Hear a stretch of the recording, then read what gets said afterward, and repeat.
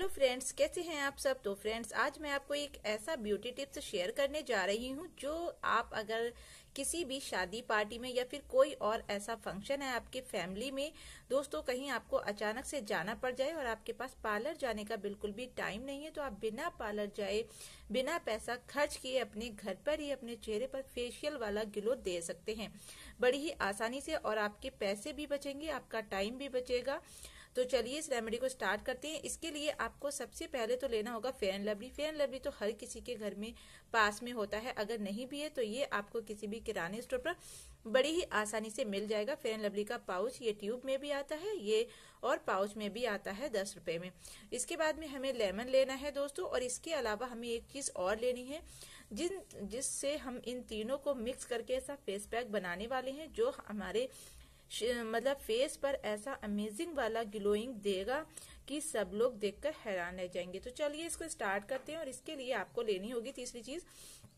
वो है coffee powder coffee powder के जो छोटे छोटे जो कड़ होते हैं ना फ्रेंड्स ये हमारी स्किन से सनटैन को टैनिंग को, गंदगी को, कालेपन को खत्म करके हमारी स्किन को निखारने का काम करते हैं। साथ ही हमारी स्किन पर बहुत ही अच्छा गिलो आता है। तो फ्रेंड्स हमने आधे चम्मच के करीब कॉफ़ी पाउडर लिया है। हम आपको एक फेस का बनाकर बता रहे हैं। अगर आप इसको अपने गर्दन पर भी अप्लाई करना चाहते हैं तो आप इसको ज़्यादा क्वांटिटी में बना सकते हैं। तो हमें एक चम्मच के करीब लेना होगा।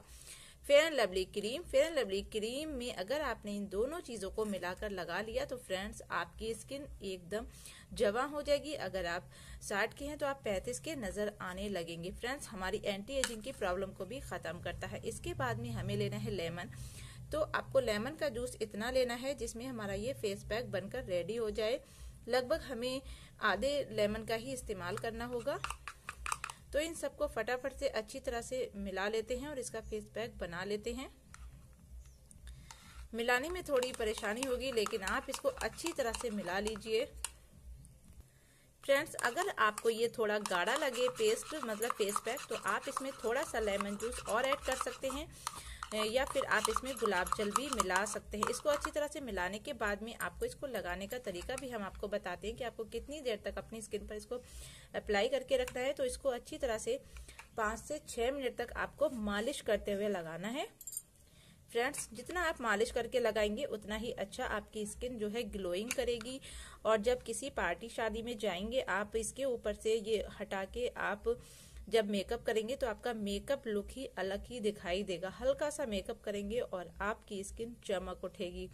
तो फ्रेंड्स इसको पाँच छह मिनट तक मसाज करना है। मसाज करने के बाद इस पैक को आपको सिर्फ़ छह मिनट तक आपको अपने फेस पर लगे रहने देना है। छह मिनट के बाद आपको इसको वॉश कर लेना है और फिर आप फटाफट से मेकअप करके किसी भी शादी पार्टी में जा सकती हैं।